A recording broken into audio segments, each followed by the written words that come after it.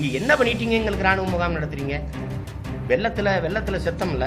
அப்போ உங்கள் ராணுவம் வந்து காப்பாச்சா ஓகி புயலில் எத்தனை பேர் உள்ளே போய் செத்தோம்? உங்கள் வலிமை மிக்க கடற்படை ராணுவம் எங்களை காப்பாச்சா ராணுவ அமைச்சர் என்ன சொன்னாங்க? இருட்டில் போய் எங்கே தேடுறது? இருட்டில் சீனாவுக்கு எனக்கு போர் இருந்துச்சுன்னா இருட்டுல எப்படிங்க சண்டை போட வரணும்னு சொல்லுவீங்களா ம்? எதுக்கு வர்றீங்க? எதிர்க்கட்சி தலைவரையும் மற்றும் அனைத்து கட்சி தலைவர்களையும் சந்தித்து ஒரு மனு வாங்க கூட மறுக்கக்கூடிய மோடி தமிழ்நாட்டுக்கு எந்த உரிமையில் வருகிறார்? எந்த அதிகாரத்தில் வருகிறார்? அவர் வரும் வழியெல்லாம் கருப்பு கொடி காட்டப்படும். இப்போ நீங்கள் ஒன்- ஒன்றை விளங்கணும் இதை இந்த செய்தியை பார்க்குற எல்லாரும். இல்லை நாங்கள்லாம் கிரிக்கெட்டுக்கு எதிரானவங்க ஐபிஎலுக்கு இதுக்கு முன்னாடி இந்த திடலில் விளையாடும் போது நாங்கள் ஒன்றும் சொல்ல. எங்கள் வாழ்க்கையோட விளையாடாதீங்கிறான் உணர்வு கொந்தளிப்பில் இருக்கேன். தெருவில் ஒரு ஒரு வீட்டில் சாவு இருந்தா அந்த தெருவில் யாருமே கறி சோறு சமைக்கிறது இல்லை. அது ஒரு மனித மாண்பு. என் இனத்தில் ஒரு இளவு இருக்குது நாங்கள் துன்பத்தில் துயரத்துல இருந்து துடிச்சு போராடிட்டு இருக்கான். நீ இந்த நேரத்தில் வந்து விளையாட்டு வச்சுக்கிட்டு இருக்கிறதுங்கிறது அது ஒரு திசை திருப்பம். அது ஒரு முயற்சி தானே? அது அது அது மாதிரி வேலையை செய்யாதீங்க. எங்கள் உணர்வோடு இணைஞ்சு பயணிங்க. ஒரு வாரம் தள்ளி நடத்துங்க. எங்களுக்கு ஒரு முடிவு வந்த பிறகு நடத்துங்க நாங்கள் வேணாம்னு சொல்ல. அதுதான் இங்கே இருக்கிற அந்த எதிர்ப்புணர்வை காட்டுவதற்கு எங்களுக்கு வேறு வழி தெரியல. இப்போ மும்பையில் நடக்கும்போது நாங்கள் என்ன போய் ஒன்றும் சொல்ல அங்கே இருக்கிற எங்கள் பிள்ளையெல்லாம் போய் மறிக்கிறேன்னாங்க. அது அவசியமற்றது. இங்கே எங்கள் உணர்வை வெளிக்காட்ட அது அகில இந்திய செய்தியாக மாற்ற உலகத்தின் பார்வையை திருப்புவதற்கு எங்களுக்கு வழி இல்லை. இப்போ இந்த விளையாட்டு போட்டியை தடுத்தாதான் எங்களுக்கு ஏன் தடுக்கிறீங்கன்னு கேட்பீங்க நாங்கள் இதனால தடுக்கிறோம்னு சொல்ல முடியும். அதுக்காக தான் இதை செய்கிறோம்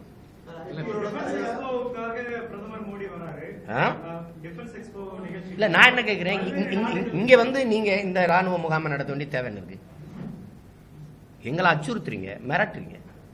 நீங்க எங்க வளங்களை கொள்ளையடிக்கிறீங்க நாடங்களும் ஒரு போராட்ட களமா மாறி நிக்குது. எங்களை அச்சுறுத்துறீங்க. இப்ப இருபத்தொன்பது மாநிலம் இருக்கு அங்க நடத்த வேண்டியதானே? இங்க என்ன பண்ணிட்டீங்க எங்களுக்கு ராணுவ முகாம் நடத்துறீங்க? வெள்ளத்துல வெள்ளத்துல செத்தம்ல. அப்போ உங்க ராணுவம் வந்து காப்பாச்சா ஓகி புயலில் எத்தனை பேர் உள்ளே போய் செத்தோம்? உங்கள் வலிமை மிக்க கடற்படை ராணுவம் எங்களை காப்பாச்சா குரங்கணியில் தீப்பிடிச்சு எரிஞ்சு செத்தம்ல வந்து அணைச்சிச்சா? ராணுவ அமைச்சர் என்ன சொன்னாங்க? இருட்டில் போய் எங்கே தேடுறதுன்னு? இருட்டில் சீனாவுக்கு எனக்கு போர் இருந்துச்சுன்னா இருட்டில் எப்படிங்க சண்டை போட வருதுன்னு சொல்லுவீல ம்? எதுக்கு வர்றீங்க? எதுக்கு வரீங்க எந்த பிரச்சனையில் ஐயா கேட்ட மாதிரி எந்த பிரச்சனையில் மோடி பிரதமர் எங்களை மதிச்சிருக்கிறாரு? எந்த பிரச்சனையில் மதிச்சிருக்கிறாரு? அங்கே நூறு நாட்களுக்கு மேலாக நிர்வாண நின்று கூட வேளாண்குடி மக்கள் போராடினதுக்கு என்னன்னு கேட்கல எத்தனை எவ்வளவு இந்த பாராளுமன்ற உறுப்பினர்கள் கட்சி பாகுபாடின்றி பதாக வச்சுக்கிட்டு போராடினாங்கல்ல? காவிரி மேலாண்மை அமைக்க. அப்போ அதை கூப்பிட்டு ஒரு வார்த்தை சந்திச்சு கூட பேசல. கொஞ்சம் கூட மதிக்கல. அப்புறம் என்ன இங்கே இங்கே என்ன எங்களுக்கு ராணுவம் இந்த ராணுவ முகாம் அமைக்கிறனால எங்களுக்கு என்ன சொல்ல வரீங்க? என்ன சொல்ல வரீங்க? எண்ணூத்தி நாற்பது மீனவனை சுட்டிருக்கான் சிங்கள ராணுவம் தடுத்து காப்பாத்துச்சா? உங்க ராணுவம் இவ்வளவு பெரிய முகாம் இருக்கு இவ்வளவு பெரிய ராணுவம் இருக்குன்னு காட்டி எங்களுக்கு என்ன க- பூச்சாண்டி காட்டுறீங்களா? எதுக்குது முதலமைச்சர் தலைமையில் அனைத்து கட்சி கூட்டம் நடந்து முதலமைச்சர் துணை முதலமைச்சர் எதிர்க்கட்சி தலைவர் எல்லாருடைய பிரதிநிதிகளை கொண்ட குழுவை சந்திப்பதற்கு நேரம் கேட்டு கூட இந்த பிரதமர் நேரம் ஒதுக்கவில்லை. இதெல்லாம் எங்க முற்றிலுமாக காயப்படுத்துகிறது. இல்ல திட்டமிட்டு புறக்கணிச்சு அவமதிக்கிறாங்க. அப்ப அதுல போய் அதுல நேரம் ஒதுக்கலைன்னு ஏதோ வேற வேலை இருந்ததுங்கிறதா நம்ம சொல்ல முடியாது. திட்டமிட்டு அவமதிக்குது சார் உலக உலகக்கோப்பை நடக்கும்போது வாய்ப்புகளும் வந்து தனித்தனியாக தான் போராடுறீங்க கட்சிகள் ஒருங்கிணைச்சு போராட வாய்ப்புகள் இருக்கா ஏன் அவங்க ஒருங்கிணைக்க முடியல இல்ல, இப்ப- இப்ப கொஞ்சம் இருங்க, கொஞ்சம் இருங்க. இப்ப இது ஒருங்கிணைப்பா தெரியலையா உங்களுக்கு? இப்ப நீங்க யாரோட ஒருங்கிணைச்சு போராடணும்னு சொல்றீங்க? இல்ல யாரோட இந்த தீர்ப்பு சிறப்பா இருக்குதுன்னு சொல்ற அதிமுக போராடணுமா? இல்ல திமுக காங்கிரஸோட போய் நாங்க போராடணுங்கிறீங்களா? இப்ப பத்தாண்டு காலம் பதவியில் இருக்கும்போது காங்கிரஸும் திமுக கலாம் காவிரி மேலாண்மை ஏன் அமைக்கலைன்னா என்ன பதில் இருக்கு? இல்ல என்ன- என்ன பதில் இருக்கு? இப்ப உன் காங்கிரசினுடைய மத்திய தலைமை கர்நாடகால வந்து பேசும்போது பாரதிய ஜனதாவை வெளில வச்சிட்டீங்கன்னா தமிழ்நாட்டுக்கு தண்ணி கொடுத்துருவாங்க. மோடியும் எடியூரப்பான்னு பேசுகிறார் ராகுல் காந்தி அவர்கள். அந்த கட்சியோட போய் நின்று போராட சொல்றீங்களா? யாரோட இணைஞ்சு போராட சொல்றீங்க? இப்ப இதெல்லாம் இதெல்லாம் இணைஞ்சு தமிழ் இதெல்லாம் தமிழின கட்சிகள் இணைஞ்சு போராடுறது உங்களுக்கு தெரியலையா? அப்புறம்? எந்த தமிழ் அமைப்பிற்கு? எல்லாருமே இணைஞ்சு போராடுறது ரெண்டாம் தேதி ரெண்டாம் தேதி ரெண்டாம் தேதி பக்கத்துல அந்த அரங்கத்துல நாங்க இந்த காவேரி உரிமை மீட்பு குழுசாரில் இணைஞ்சு போராடுறது முடிவுன்னு எல்லாரும் வந்திருக்காங்க. இது அவசர கூட்டம் தான். தொடக்கமே நான் சொன்னேன். அவசரமா நி- நிர்வாகிகள் சந்திச்சு பேசினது. எல்லாரும் சேர்ந்தா எல்லா அமைப்புகளும் சேர்ந்தா வருது போராடுறோம். மாற்றம். இந்த போராட்டத்துக்கு தோழர் வேல்முருகன் கொஞ்சம் மட்டும் தான் பேசணும் அவருடைய அவர் வந்து. போராட்டம் நடத்துறதுனால வர முடியல. அவருடைய தோழர்கள் நாளைக்கு கலந்து கொள்றாங்க. மே பதினேழு இயக்கத்தோட திருமுருகன் காந்தி வந்து நெய்வேலி போறதுனால அவர் வர முடியல. அவருடைய மே பதினேழு இயக்கத்தோட வந்து கலந்துக்கிறாங்க. இயக்குனர் கௌதமன் நெய்வேலி போறதுனால அவருடைய தோழர்கள் வந்து கலந்துக்கிறாங்க. உடன்பாடு உள்ள நேசிக்கக்கூடிய சமூக நீதி சக்திகளும் தமிழ் தேசிய சக்திகளும் இந்த போராட்டத்தை எங்களோட நாளைக்கு இல்ல பங்கெடுக்க முதல்ல ஒண்ணு நீங்க விளங்கணும். இது கட்சிகள் அமைப்புகளின் பிரச்சனை இல்ல. ஒரு இனத்தின் உரிமை பிரச்சனை. இது நாங்க முன்னிக்கிறோம். நீங்க ஒன்னா நில்லுங்க. இது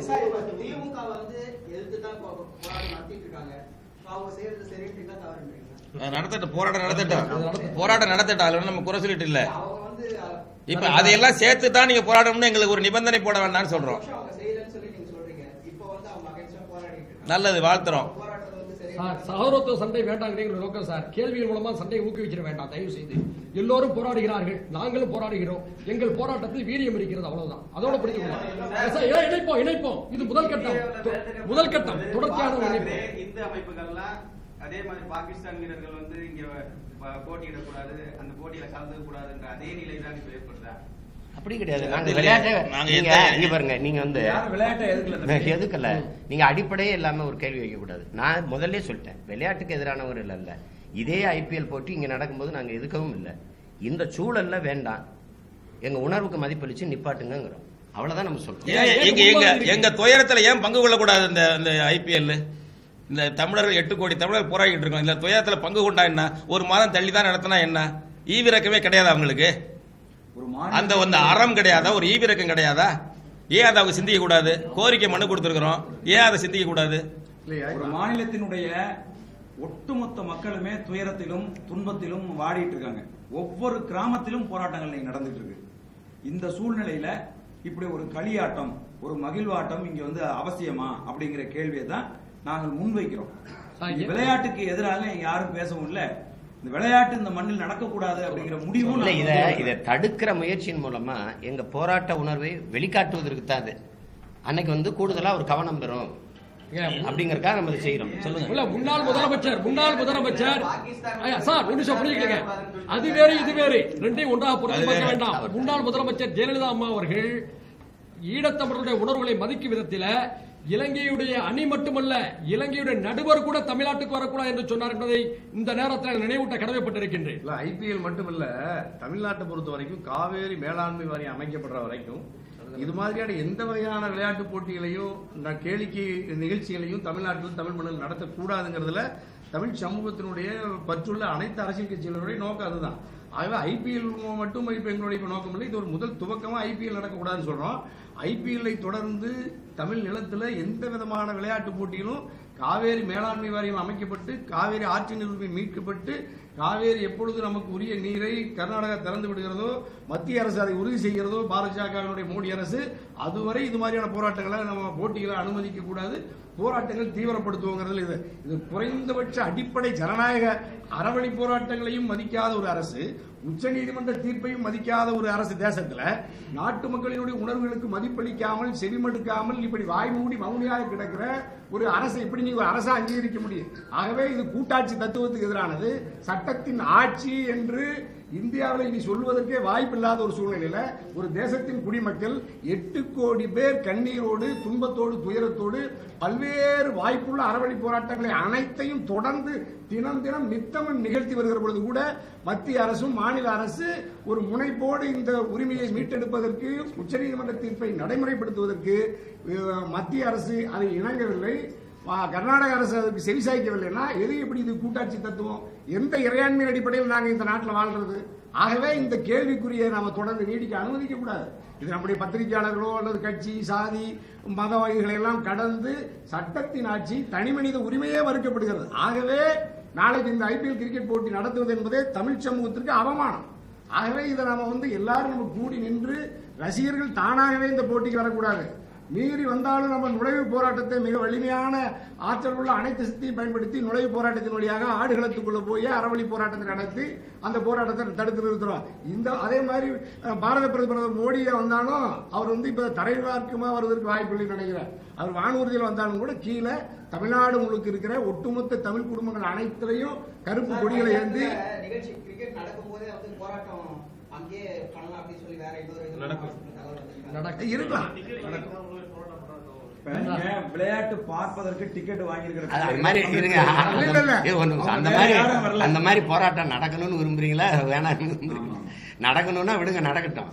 அது நடக்கும். இல்ல, அது மட்டும் இல்ல ஒண்ணு ஒண்ணு. இப்ப நீ ரசிகர்களா போற எல்லாருமே வெறும் ரசிகர்கள் மட்டும் இல்ல போராட்டக்காரர்கள் ரசிகர்களா நுழைவுச் சீட்டை வாங்கி பார்வையாளர்களா உள்ள போறோம். அவங்க உள்ள போறவங்களும் இப்ப நாங்களாம் கூட தொ- நுழைவுச் சீட்டு வச்சிருக்கிறோம். நாங்களும் பெருமளவு உள்ள அனுமதியோட சட்டபூர்வ அனுமதியோடு தான் போறோம் நான் நுழைவுச் சுட்டி வச்சிருங்க நான் பார்வையாளராக போறேன். பார்வையாளராக போன பிறகு நான் ஆடுகளத்துக்குள்ள போய் கூட என்னுடைய அறவழி என்னுடைய எதிர்ப்பு தெரிவிக்கிறதுக்கு என்னுடைய வாய்ப்பு இருக்கு எனக்கு உரிமை இருக்கு. அப்படி எல்லா வகையிலையும் நாங்கள் எல்லா நிலைகள்லையும் எங்களுடைய ஆற்றலை பயன்படுத்துவோம். அத்தனையும் அறவழி போராட்டம் ஜனநாயக வழி போராட்டம். ஆனால் ஜனநாயகத்துக்கு விரோதமாக சட்டத்துக்கு விரோதமாக மத்திய அரசு செயல்படுகிறது.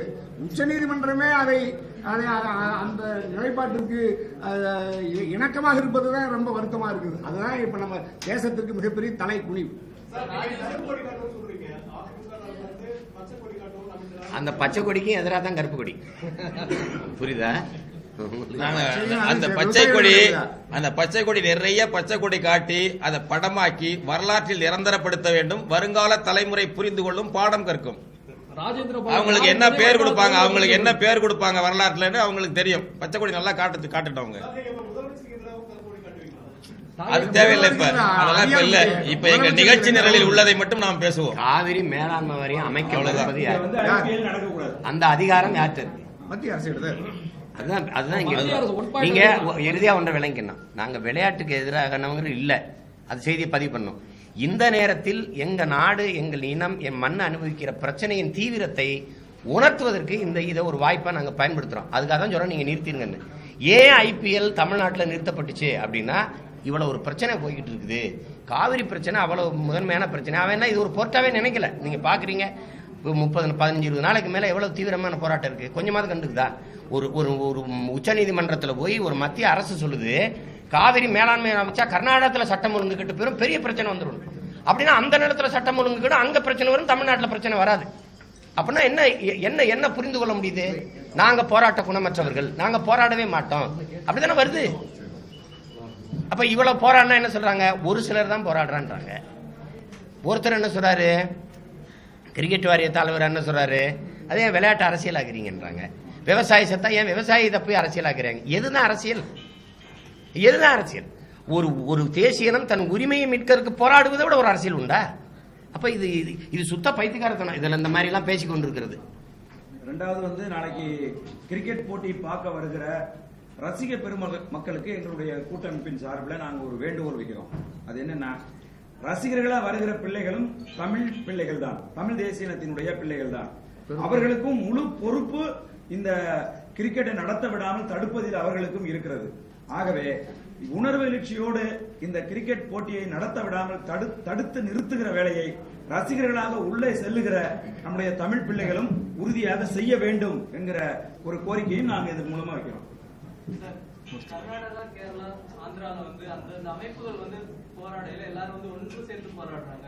ஆனா தமிழ்நாட்டுல வந்து கட்சி ரீதியாகவும் ஜாதிய ரீதியாகவும் இப்படி பிரிஞ்சு பிரிஞ்சு கொடிகளை வச்சுட்டு போராடுறதை விட்டுட்டு எல்லாரும் ஒன்று சேர்ந்து இணைஞ்சு போராடணும் பாரதிய ராஜா ஒரு கோரிக்கை போராடுவோம். நீங்க சொல்றது நல்ல விஷயம், சரிதான். அதுதான் அதுதான் இவ்வளவு பாடுபடுது. இல்ல அப்ப அந்த கொடிகளை எல்லாம் யூஸ் பண்ணாதீங்க அப்படிங்கிற மாதிரி அவர் சொல்றாரு. அதான் வாய்ப்பு கொடிகள் எண்ணிக்கை அப்படிங்கிற மாதிரி போயிட்டு இருக்குது. இல்ல இல்ல அது நிராகரிச்சு கர்நாடகா அது இப்ப இல்ல பல போராட்டங்கள்ல இதே மாதிரி நமக்கு தண்ணீர் தர மறுக்கிற போராட்டங்கள்ல பாரதிய ஜனதாவோ காங்கிரஸோ குமாரசாமி உடைய மதசார்பற்ற சந்தாத்தலமோ அந்த கட்சி கொடியை விட்டுட்டு கர்நாடக மாநில கொடியை எடுத்து தான் வரும். பன்னெண்டாம் தேதி இது போராட்டம் நடத்துது நீங்க பாக்குறீங்க அதை நடத்தும். ஆனால் தமிழ்நாட்டுக்குன்னு ஒரு கொடி இருக்கா? இல்ல. இப்ப நாங்க முத முதல்ல அந்த கொடியை தூக்குறோம். அது கொஞ்சம் கொஞ்சமா வரும். அதனால கொடின்னு ஒண்ணு இல்லாம போராட்டத்தை அடையாளப்படுத்த முடியாது. எங்க கட்சி கொடி இருக்கோ இல்லையோ தமிழ்நாட்டு கொடி இருக்கும். அந்த கொடி தாங்க தமிழ்நாட்டு கொடி இல்ல அதை ஏற்பீங்களா நாளைக்கு அந்த கொடியை எங்க அப்பாட்ட கொடுத்ததே நான் நீங்க அந்த கொடி ஏற்பீங்களாங்க சொல்லுங்க. தமிழ் தமிழ் சமூகத்தினுடைய ஒரு மூத்த கலைஞரா இருக்கிற பாரதி ராஜா ஐயா அறிமுகப்படுத்திருக்காரு நாங்க எல்லாருமே ஏற்கிறோம் நீங்க சொன்னீங்கல்ல மே பதினேழு இயக்கத்தில் நம்ம தொடர்ந்து வந்திருக்கேன். திருமுருகன் காந்தியுடைய பிரதிநிதியாக நான் எல்லாரும் ஒன்றிணைன்னு சொன்னீங்க இல்லையா திடீர்னு ஒரு அவசர கூட்டம் அடுத்த அடுத்தடுத்த நிகழ்வுகள்ல இந்த எண்ணிக்கையில். அது இருக்கிறத அது மட்டும் இல்ல நம்ம ஏற்கனவே ஐயா இப்ப நம்ம இப்ப இப்ப நாங்க வந்து வருமான வரி செலுத்த வேண்டாம்னு சொல்றோம். இப்ப ஜிஎஸ்டி விற்பனை வரி செலுத்த வேண்டாம்னு சொல்றோம். ஏன்னா மத்திய அரசாங்கம் இப்ப டோல்ல இப்ப இந்த நெடுஞ்சாலைகள்ல இருக்கிற கட்டண சாலைகள்ல வரி- செலுத்த வேண்டாம்னு நாங்க தொடர்ந்து வலியுறுத்துறோம். நாங்க செலுத்துறது இல்ல. ஏன்னா எப்போ நீங்க சட்டத்தின் ஆட்சியிலேயோ நமக்கு உரிமைகள் மறுக்கப்படுகிறதோ அப்ப நம்ம வரி செலுத்துறதே முதல்ல அது ஒரு அது ஒரு நம்ம ஒரு ஒரு அறவழி போராட்டமாக தான் நாங்கள் முன்னெடுக்கிறோம். அது ஏற்கனவே நம்முடைய காவிரி உரிமை ஒத்துழையாமை இயக்கம்னு. ஒத்துழைப்பு இயக்கத்தில் நாங்கள் சென்ற முறையே நம்ம ஊடகத்தின் வழியாக செஞ்சிருந்தோம். அதுவும் மக்கள் மத்தியில் இப்போ பெரிய அளவில் வந்திருக்கு. வங்கியில் வழக்க வாங்கின கடன் ஏழைகள் மாணவர்கள் விவசாயி வாங்கின கடனை திருப்பி செலுத்த வேண்டாம்னு சொல்றோம். ஏன்னா பெரிய பெரிய இப்போ ஆயிரம் கோடி பத்தாயிரம் கோடி பன்னிரெண்டாயிரம் கோடி வாங்கணும்னா நட்சத்திர இதில் தனி விமானத்தில் கூட வெளிநாட்டுக்கு போயிடுறான் ஆனால் ஏழை ஏன் நம்ம கட்டணும். அது அப்படியெல்லாம் நாங்கள் நிறைய பல போராட்டங்கள் எடுத்துக்கிட்டோம். மக்களும் இப்போ பெரிய அளவில் கூட வந்துட்டு இருக்காங்க. காவிரி மேலாண்மை குறித்து மேலாண்மை அமைக்கிற வரைக்கும் நம்ம அந்த போராட்டத்தை முன்னெடுக்கணும்.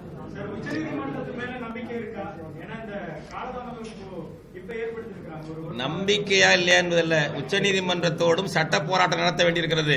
உச்சநீதிமன்றத்திலும் சட்ட போராட்டம் நடத்தணும். அதுக்கு தான் கான்ஸ்டியூஷன் பெஞ்சுக்கு மாத்துங்க அந்த காவேரி வழக்கைன்னு சொல்றோம். ஐந்து அல்லது ஏழு உச்ச நீதிமன்ற நீதிபதிகள் கொண்ட மறு ஆய்வு செய்யறதுக்கு முல்லை பெரியார் வழக்கு அப்படி மாற்றப்பட்டது. அரசமைப்பு சட்ட ஆயம் கான்ஸ்டியூஷன் பெஞ்சுக்கு இந்த வழக்கை மாத்துங்க. பல்வேறு உரிமைகள் இழந்திருக்கு இந்த உச்சநீதிமன்ற தீர்ப்பில் பிப்ரவரி பதினாறு தீர்ப்பில். பல்வேறு அரசியல் சட்ட மாற்றங்களை அந்த அரசமைப்பு சட்டத்துக்கு முரணாக பல்வேறு தீர்ப்புகள் அதில் கூறியிருக்கு. எனவே கான்ஸ்டியூஷன் பெஞ்சுக்கு மாற்றுங்கன்னு காவேரி உரிமை மீட்பு குழு தொடர்ந்து கேட்டுக்கொண்டிருக்கிறது. சட்ட போராட்டம் உச்சநீதிமன்றத்தில் நடத்த வேண்டும். வெறுமனே நம்பிக்கொண்டிருக்க முடியாது. அரசு உயர்வானதா உச்சநீதிமன்றம் உயர்வானதான ஒரு கேள்வி இருந்துச்சு. இப்ப. மத்திய அரசு தான் உயர்வானது உச்சநீதிமன்றம் அப்படி உயர்வானது இல்லைங்கிறத இப்ப நாம இப்ப நம்ம இந்த வழக்கின் மூலமா நம்ம நிறைய பல இடத்துல பார்த்துட்டோம்.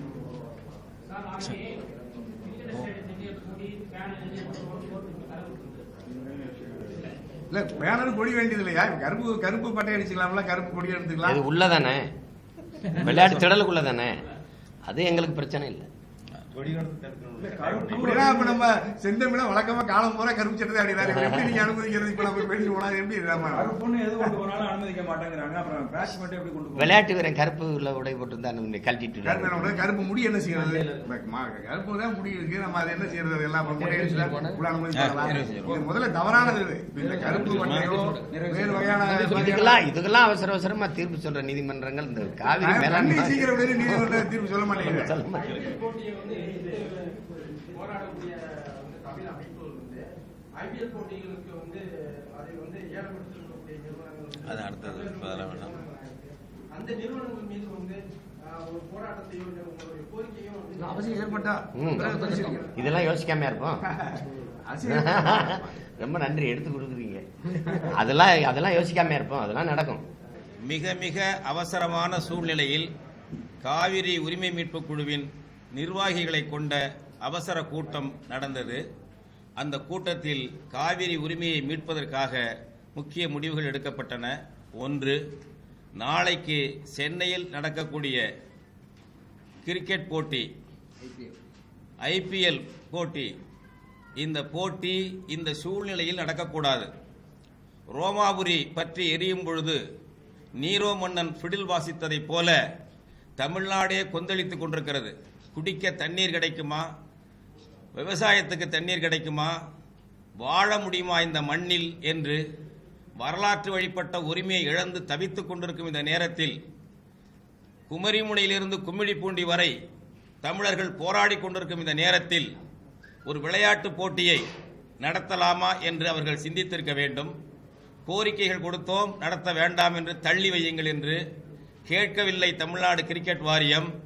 எனவே நாளைக்கு கிரிக்கெட் போட்டி நடக்கும் பொழுது அதற்கு முன்பாகவே இந்த ஸ்டேடியத்தினுடைய கிரிக்கெட் விளையாட்டு மைதானத்தினுடைய அனைத்து வாயில்களிலும் தமிழர்கள் உணர்வாளர்கள் எங்கள் இயக்கங்களைச் சேர்ந்தவர்கள் மற்றும் உள்ள உணர்வாளர்கள் அந்தந்த வாயிலும் நின்று கிரிக்கெட் வீரர்களும் மீறி செல்லும் ரசிகர்களையும் செல்ல வேண்டாம் என்று மறித்து போராடுவது என்று முடிவு செய்திருக்கிறோம்.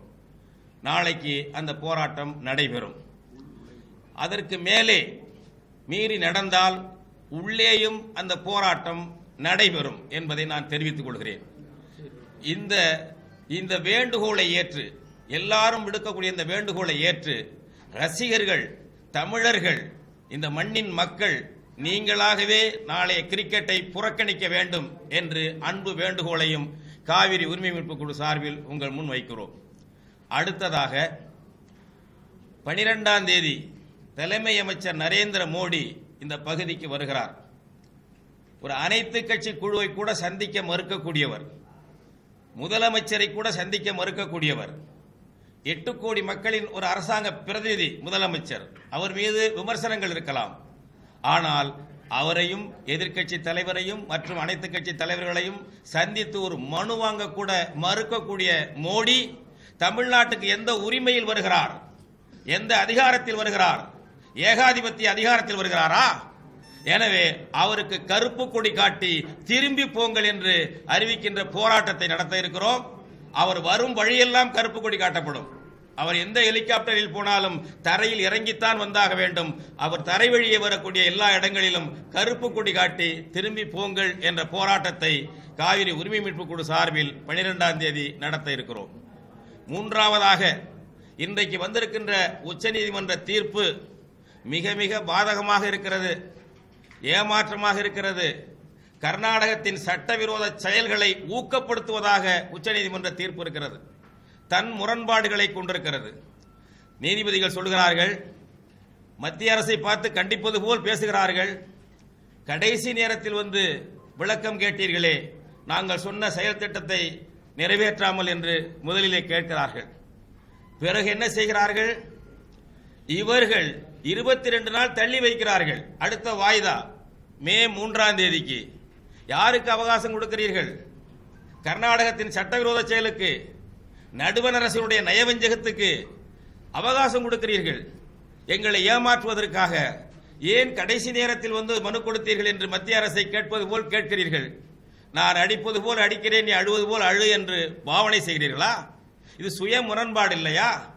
அடுத்ததாக எப்படிப்பட்ட செயல் திட்டம் என்று கேட்கும் பொழுது காவேரி மேலாண்மை வாரியம் என்று எங்கள் தீர்ப்பில் எங்கேயும் நாங்கள் கூறவில்லை என்று தீபக் மிஸ்ரா சொல்லுகிறார். இதுதானே கர்நாடகத்தின் கோரிக்கை? இதுதானே மத்திய அரசுடைய கோரிக்கை? கர்நாடகம் மத்திய அரசு தமிழ்நாடு ஆகிய மூன்றுக்கு மேலே இருந்து நடுநிலையில் தீர்ப்பு சொல்ல வேண்டிய தீபக் மிஸ்ரா ஆயம் உச்சநீதிமன்றம் கர்நாடகத்தின் கோரிக்கையை நடுவண் அரசின் நயவஞ்சகத்தை ஏற்றுக்கொண்டு நாங்கள் ஒரு இடத்தில் கூட காவேரி மேலாண்மை வாரியம் என்று குறிப்பிடவில்லை. பிறகு என்ன ஸ்கீம் என்ன செயல் திட்டத்தை செயல்படுத்துவதாம்? அவர்கள் சொல்லுகிறார்கள். கலப்பை கலவையாக சொல்லுகிறார்கள். காவேரி தீர்ப்பாயம் கொடுத்த தீர்ப்பு அவார்டு அதையும். நாங்கள் பிப்ரவரி பதினாறாம் தேதி கொடுத்த தீர்ப்பையும் கலந்து பிசைந்து புதிதாக ஒரு டிராப்டை ஒரு வரைவை செயல் திட்டத்துக்கு கொடுங்கள் என்று சொல்கிறார்கள் என்ன கதை இது? ஏன் காவேரி மேலாண்மை வாரியம் என்று தீர்ப்பாயம் சொல்லி இருக்கிறது அதை தெளிவாக சொல்ல வேண்டியதானே? அதிகாரமுள்ள ஒரு செயல் திட்டம் கூடாது என்பது கர்நாடகத்தின் கோரிக்கை நரேந்திர மோடி அரசின் கோரிக்கை. அதைத்தான் தீபக் மிஸ்ரா ஆயம் வலியுறுத்தி இருக்கிறது கோடி காட்டி இருக்கிறது. ரெண்டையும் பிசைந்து ஒரு மிக்சர் தயார் பண்ணி கொடுங்கள் என்று சொல்லுகிறது. தமிழ்நாட்டை வஞ்சித்து விட்டார்கள். உச்சநீதிமன்றமே இப்படி நடந்து கொண்டால் தமிழர்களுக்கு என்ன செய்வது? என்ன வழி? போராடுவதை தவிர வேறு வழி இல்லை. நீதியை பெறுவதற்கு போராடுவதை தவிர வேறு வழி இல்லை என்ற நிலையில் நம்முடைய போராட்டத்தை தீவிரப்படுத்துவது தமிழகம் தழுவிய போராட்டத்தை மேலும் தீவிரப்படுத்துவது என்று முடிவு செய்திருக்கிறோம். இதை இதை வரவேற்பது தவறு. ஆளுங்கட்சி எதிர்க்கட்சி எதுவா இருந்தாலும் இதை வரவேற்பது தவறு. விளக்கம் சொல்லுங்கள். எங்களிடம் விளக்கம் சொல்லுங்கள். மக்களிடம் விளக்கம் சொல்லுங்கள். என்னென்ன பலன் இருக்கிறது நீதி இருக்கிறது நியாயம் இருக்கிறது. எனவே நாங்கள் வரவேற்கிறோம் என்று எந்த கட்சி ஆளுங்கட்சியா இருந்தாலும் எதிர்க்கட்சியா இருந்தாலும் வேறு கட்சியா இருந்தாலும் யாரா இருந்தாலும் ஆதரித்தால் விளக்கம் சொல்ல வேண்டும் மக்களுக்கு. மக்கள் விழிப்போடு கேள்வி கேட்க வேண்டும் என்பதையும் தெரிவித்துக் கொள்கிறோம்.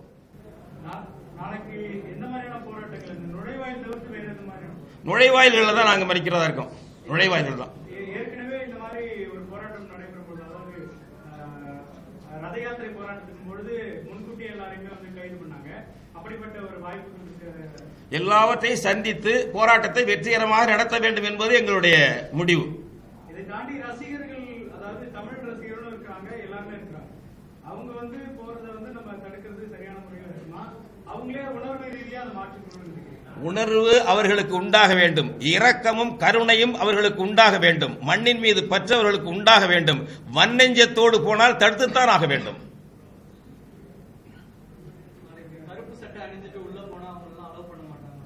கருப்பு சட்டை கருப்பு கருப்பு கைக்குட்டை எதுவுமே கூடாது என்கிறார்கள். அதையும் மீறி உள்ளே போராட்டம் நடக்கும் என்பதை தெரிவித்துக் கொள்கிறேன். நம்மள பல பேர் சட்டையெல்லாம் போனாலும் கற்பத்தா இருப்பாங்க நம்ம உடம்பே கருப்பாத்தான் இருக்கு. இதெல்லாமா ஒரு இது? பேனா கொண்டு போகாத பென்சில் கொண்டு போகாத. அவ்வளவு பயம் இருக்குன்னா நிறுத்த வேண்டியதானே விளையாட்டை? கிரிக்கெட் வீரர்களுக்கு எதுவும் இடையூறு அந்த மாதிரியான விஷயங்கள் அவர்களை தடுப்பது. அவர்களையும் தடுக்கிறோம். அவர்களையும் தடுப்போம். உள்ள நுழைகின்ற பொழுது எங்களுடைய முழு பலத்தையும் பிரயோகித்து உள்ள நுழைகின்ற பொழுது எங்களுடைய உள்நுழைவு போராட்டத்தில கிரிக்கெட் வீரர்கள் மீறி வருகிறார்கள். தமிழருடைய உணர்வை காயப்படுத்தும் வகையில் இவ்வளவு எதிர்ப்புகளை மீறி வருகிறார்கள். உள்ளே சென்று அவர்கள் நாங்கள் சிறைபிடிப்போம். சிறைபிடிப்போம் என்று சொன்னால் அவர்கள் அடிப்போம் என்ற அர்த்தம் அல்ல. அவர்களை துன்புறுத்துவோம் என்ற அர்த்தம் அல்ல. விளையாட விடாமல் தடுப்போம் என்ற அர்த்தம். வேல்முருகன் அவர்கள் என்ன சொல்லியிருக்காங்க உள்ள போய் போராட்டம் நடத்தக்கூடிய வாய்ப்பையும் பயன்படுத்திக்கோங்க அப்படிப்பட்ட வாய்ப்பும் அந்த வழியிலும் போராட்டம் அது நடக்கும். எல்லா வகையிலும் போராட்டம் இருக்கும்.